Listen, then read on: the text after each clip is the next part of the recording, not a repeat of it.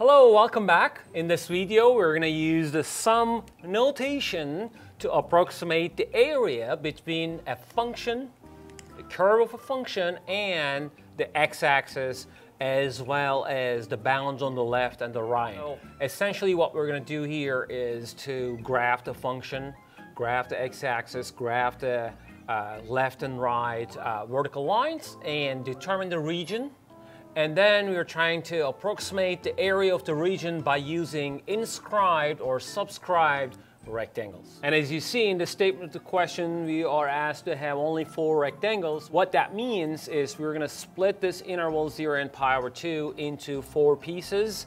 And for each piece, we're gonna choose one point and it could be either left endpoint or the right endpoint of those subintervals. And based on that, we're gonna have inscribed or subscribed rectangles. Sum of the areas of those rectangles is gonna be the approximation of the area between the curve x-axis, x equals zero and x equals pi over two.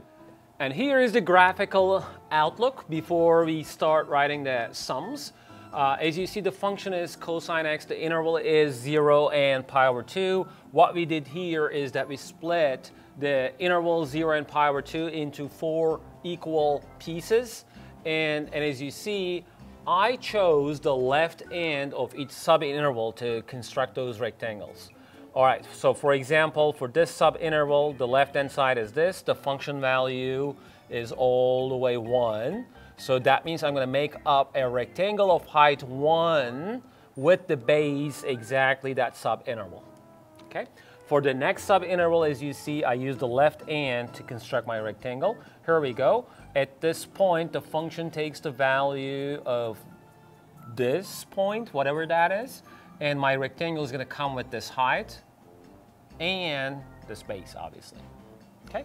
For the last subinterval, if you use the left endpoint, so the function value is this, so the rectangle will come with that value for, for its height.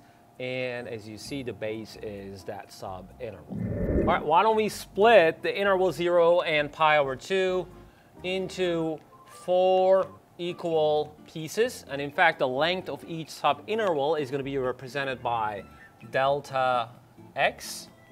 So delta x is essentially the, the right end of the given interval minus the left end divided by the number of rectangles you're going to try to construct.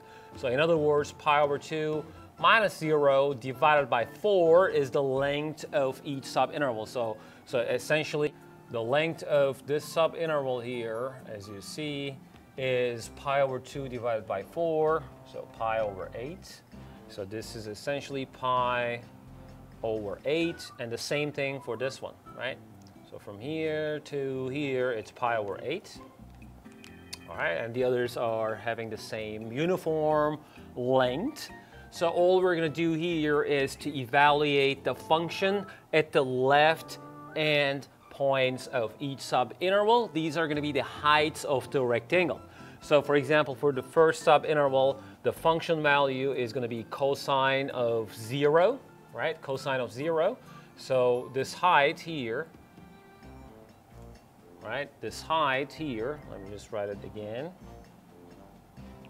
This height here is what cosine zero, which is which, which is exactly equal to one. You can use your calculator, but don't forget to put your calculator in the radian mode.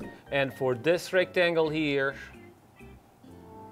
for this rectangle here, okay, we have the height of the value at the left end of this point, which is uh, pi over 8, right? So let me just write those down here. So 0, pi over 8, and 2 pi over 8, and 3 pi over 8. And the last one is just pi over 2, obviously the right end of this subinterval.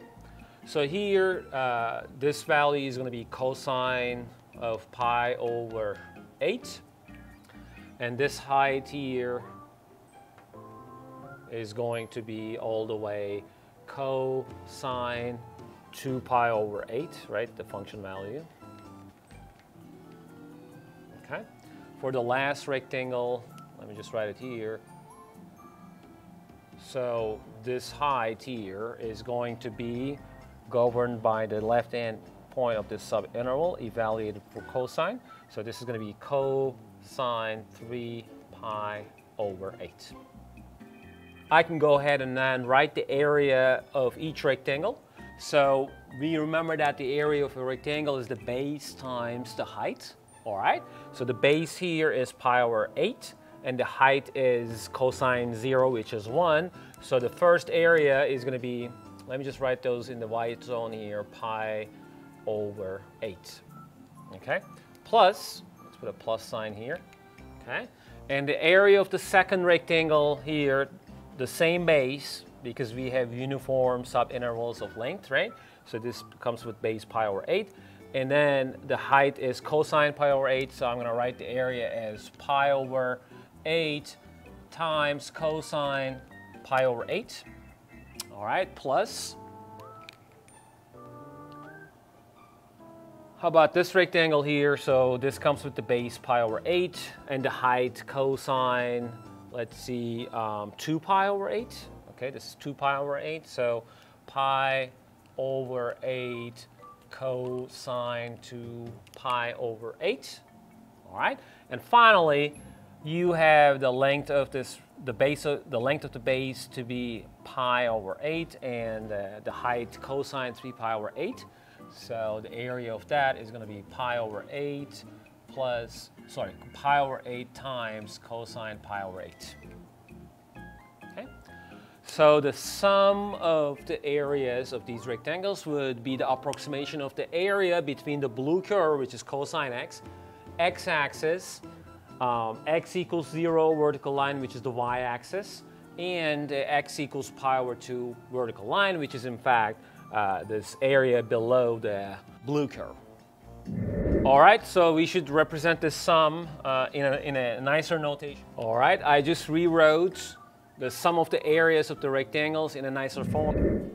This is the base of each rectangle and then these are the corresponding heights of each rectangle.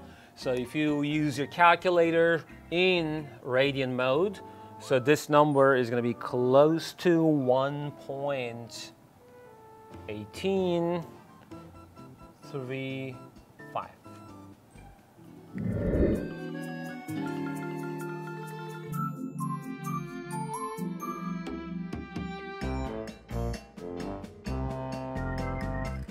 So we're asked to find the, the area with four decimal places. Here we go.